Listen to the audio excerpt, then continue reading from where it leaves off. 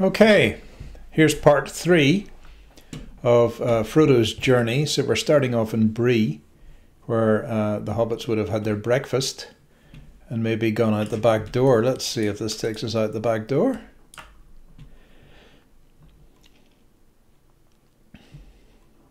And into the yard of the Prancy, Prancing Pony Inn. There's a few horses there.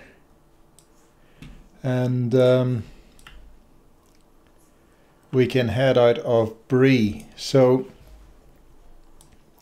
uh, we're now heading down uh, to leave Bree by the main gate to the south. And um, in the book, the hobbits and Aragorn, after the attack of the Black Riders on Bree, decided to leave town um, openly along the road in an effort not to be followed and, of course, to uh, lead people to suspect they were going to follow the road the whole way. And then, after having left the the areas of the of Bree that were occupied by people, uh, they cut across country. So we'll hopefully we'll get as far as the uh, the mountain. Amon Sul, where uh, they encountered the nine Black Riders again. Now, we're just passing, I should show you Bill Ferny's house here, which is where uh, Bill Ferny lived, and he was one of the spies of either Mordor or Saruman possibly both. And then we head out the south gate of Bree. We'll just have a quick look back at the town and we will have a look at the let's get the interface off.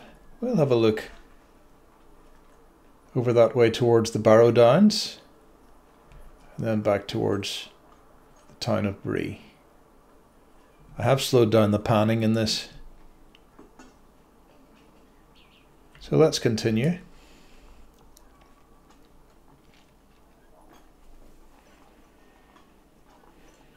Now they head out of Bree and then uh, fairly soon, after having got a good distance from the town, they start going overland. Now uh, the there's plenty of players around Bree. Bree's a very handy spot for players in the game. Uh, it's got good crafting, uh, good auction hall. It's a great hub for practically everything in the game uh, as a skirmish camp. So if you're going to play Lord of the Rings online, uh, you're going to come to Bree a lot. Pretty much all services are there, which is great.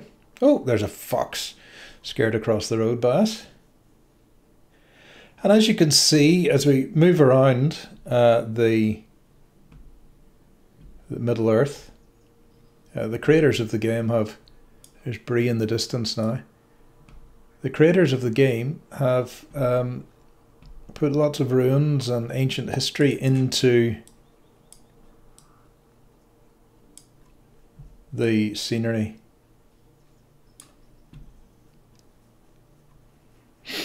Now, as we get out of sight of Bree, you'll see that if we turn back, we won't see much of Bree behind us.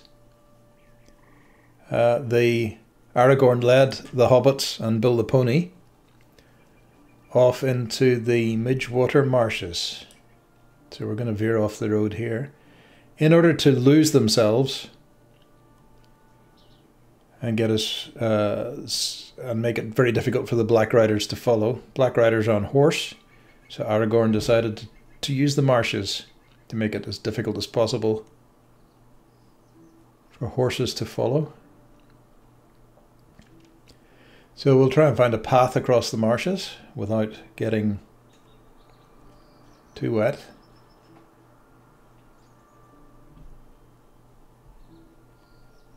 As you can see, hobbits are a bit short. Get completely uh, swamped out by the grass and the scenery. But we're now making our way towards, and we can see in the distance, the hills of the Lone Lands, and that up there is Amon Sul, which is what we're making for. We're just going to try and avoid getting wet. Might not be entirely possible.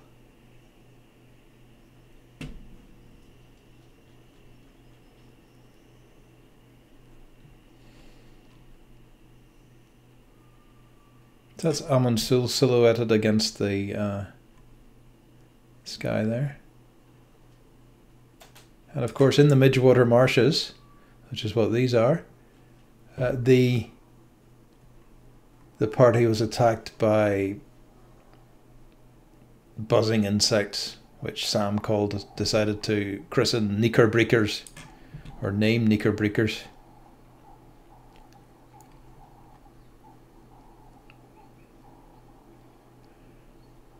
Let's go up here and we'll have a look around at the marsh if we can. On a height. And you can see the scenery from the game here. Looking around, there's Amon Sul, which we're heading for. And some other ruins in the marshes that you can go and have plenty of adventures in. And we're heading for a pass that leads up out of the marshes into the lone lands behind Amon Sul, away from the road. So the road is going along here.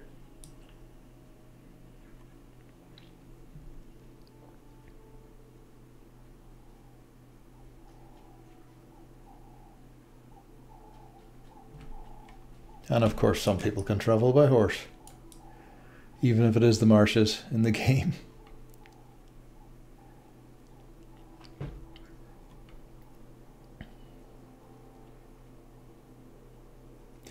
So um, as you can see, the scenery is pretty spectacular in the game, and we're going to head up through this valley and get into the Lone Lands.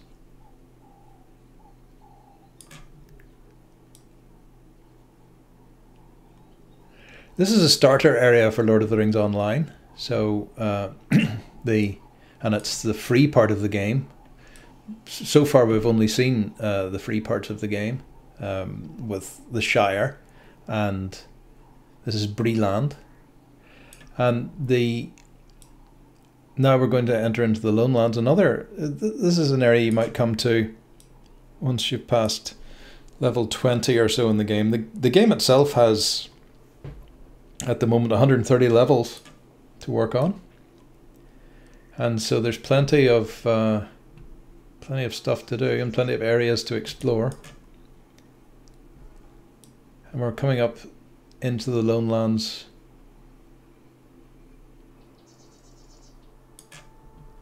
From Breeland.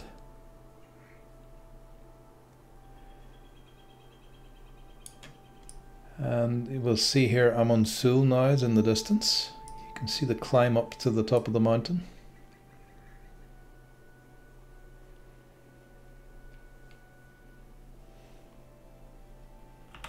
Oh try and get onto a height here, but if we look back, we now see how far we've come from the marshes. And there are different ways of going here, but we'll just continue. There's a wolf. following this path.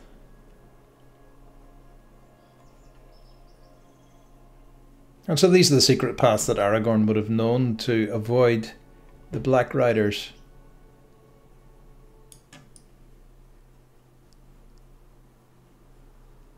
And lots and lots of ancient ruins.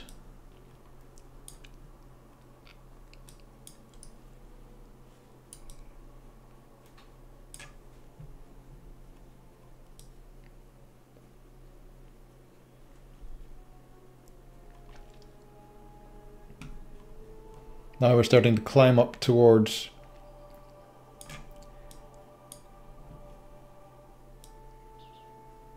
the lower defences of Amon Sul. Amonsul was an ancient fortress of the kings of Gondor. And there it is in the horizon just ahead of us, and that's where we're heading for. This ancient fortress uh, for the kings of Gondor was one of the places where they held a palantir. Now the palantir was the the glass ball of seeing that the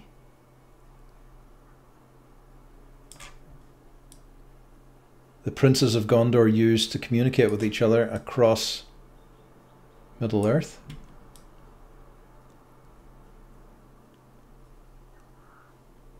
Getting hit by a lot of bushes here. It's rough country.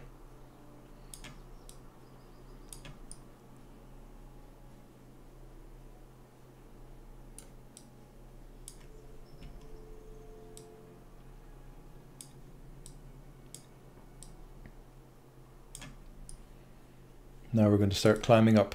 Well, we're going to drop down to the water and cross the river. Then we'll start climbing up towards... Oh, hang on a second. Am I going the right way? I think we have to go this way.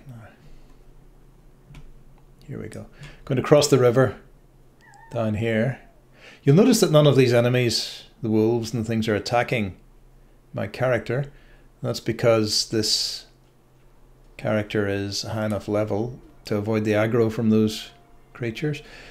When we get to the, towards the end of this journey, uh, that's not going to be the case at all, and we may have to fight our way through, particularly in Mordor. But we haven't got there yet. We still have to get to Rivendell. Which will hopefully be, well, Rivendell Trollshaws. So, there's a part of this journey that speeds up a little bit in the book because from here, Frodo gets carried by horse into Rivendell. There's Amon Sul. We're going to go all the way up to there.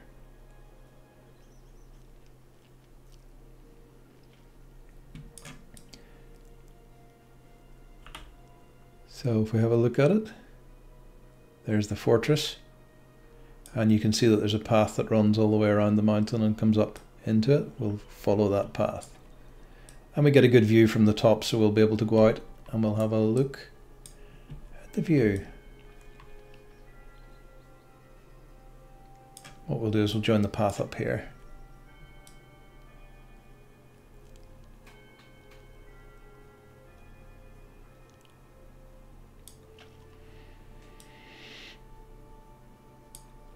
Now this is a fairly early area in the game. At around 20th level you come here and start working your way through the Lone Lands content. Uh, there's a lot more to it than this, but the Epic game has a few quests that you follow to come and visit this part of the this part of Middle Earth. The Epic game follows pretty much the uh, the Epic quests follow the the movement of the Fellowship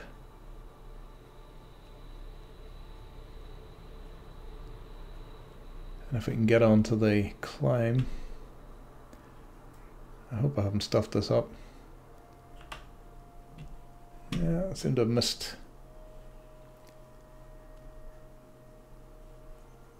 the way up, but you can climb all the way up here using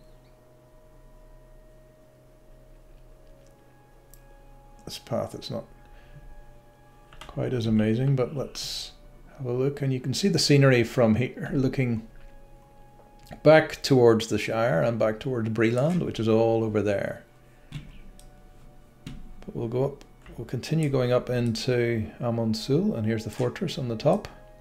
At Weathertop was the the common name for it of the time.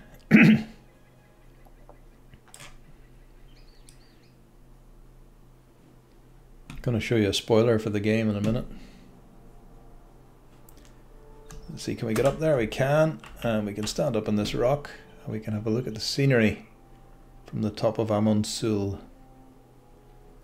And so you really do feel that you're in Middle Earth as you play this game. And we look straight down and you can see the, the path that comes around the mountain to come up to Amon Sul, various other questing areas in the distance, old fortifications. I'm going to show you a little spoiler for the game. If you don't want to see that little spoiler, you can switch off now. It's not that big a spoiler. You don't get any XP for it, but there's a dude around here. uh, somewhere. There he is. That you can collect. Uh, my character's already collected him. Come across this guy. He does a bit of exploring in various parts. He's a sort of a Middle Earth camper, hiker camper guy, and he goes all around, and you find him in different places. So anyway, uh, the hobbits were camping uh, uh, on the slopes of Amon Sul. And then they had to retreat to the top of the mountain and they were attacked by the Nine Riders up here. And here's looking out towards uh, Rivendell, the direction towards Rivendell, and the path that we have to follow into the Trollshaws, which are going to be over here. All right. So in our next video, we will progress from Amon Sul, Weathertop, into the Trollshaws. Hope you enjoyed the video. Uh, I think you notice perhaps that I cut down the panning speed and stuff, so not making everybody quite so unwell. Let's go in for a first person view of this last view towards Rivendell and the east. And we look down.